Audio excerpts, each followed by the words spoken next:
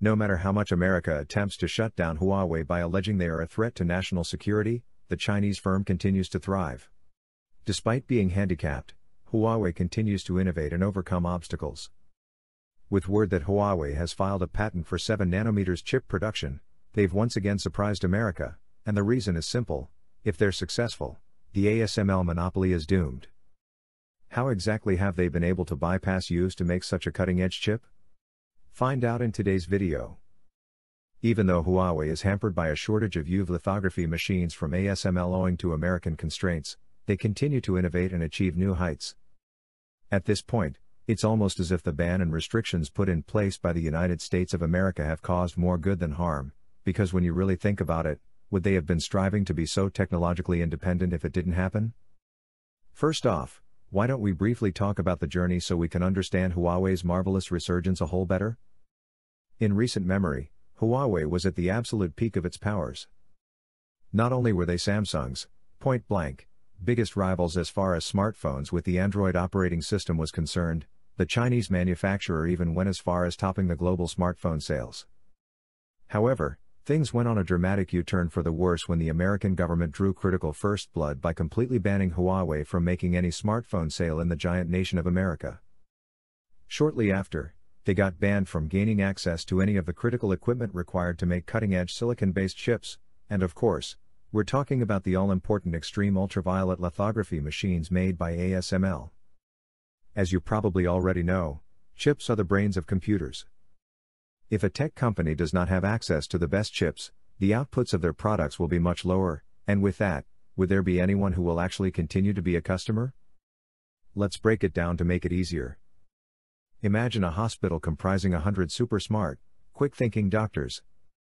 Because of their amazing service over the years, everyone loves the hospital and completely trusts each and every doctor.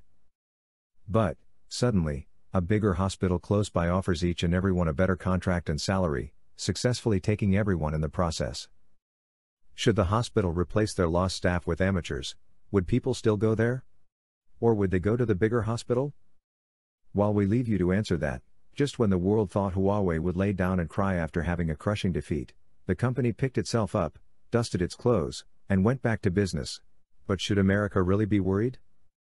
A few weeks ago, Huawei made a stunning announcement that their sales in the last quarter of 2022 were around $27.4 billion, marking a wonderful growth of up to 7.2% compared to the previous year.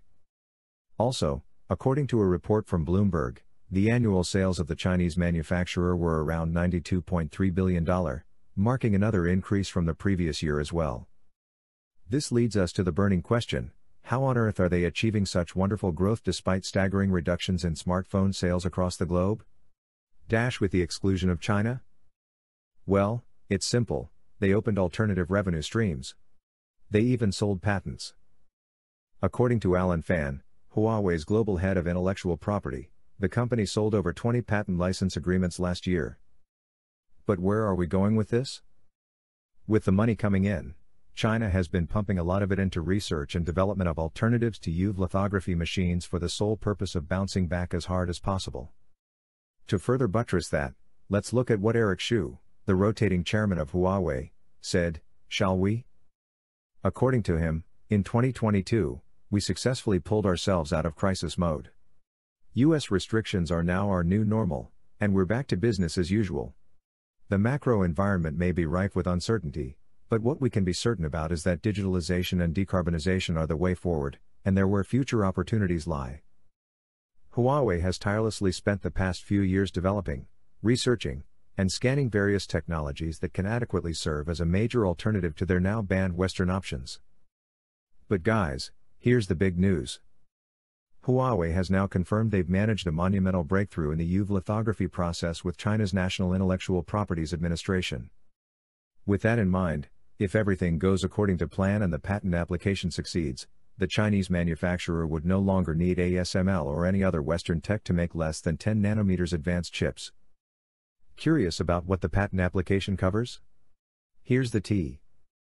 According to reports, a short while ago, the company filed the patent to the Property Office covering an EUV lithography scanner. The components of the scanner include a 13.5 nanometers EUV light generator, the lithography system, a set of reflecting mirrors, and some control management technologies. It's believed that should Huawei successfully build the scanner, even with an adequate level of productivity, they should easily be able to produce chips around 7 nanometers. However, one thing that must be stated is that filing a patent is completely different from actually building it. As a matter of fact, even with the EUV tool already at hand, chip manufacturers must still critically analyze so many factors required for high volume production. Having said that, patience is the watchword. Currently, EUV scanners with a 0.33 numerical aperture are at the peak of semiconductor production tools. Over the years, so many companies have tried to make such a tool, but only ASML has been able to succeed. The crazy part is that it took them over a decade of development and even financial support from Samsung, TSMC, and Intel. Currently, only TSMC, Samsung, SK Hynix, Intel, and Micron employ or intend to use EUV scanners, and here's something even more amazing. Did you know only those companies, as mentioned earlier, have planned to make or even made technologies capable of taking advantage of EUV scanners?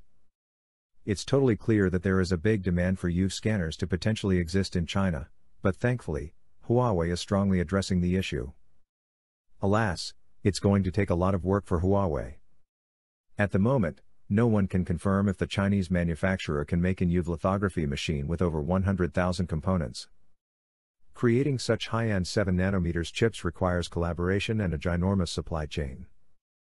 But, right now, Huawei has been investing in various firms involved in electronic design automation, materials, equipment, foundry, packaging, and testing phases of semiconductor chips. Would they really be able to achieve their aspirations? Guys, only time will tell. But one thing that's clear is that Huawei's EUV patent would completely change the game for China in high-end chip creation. Huawei can use Qualcomm Snapdragon chips to make 4G devices, but in regards to making powerful, energy-efficient chips, China gets totally beaten by Samsung and TSMC. But Huawei's patent is just what China's SMIC needs to match up to Samsung and TSMC foundry. With everything that has been said, the journey of the Chinese manufacturer has been the stuff of legends. They keep pursuing different goals while developing various forms of innovative technology. We all know the company's resolve in semiconductor chip production, but did you know they're also keen on building wafer fab equipment?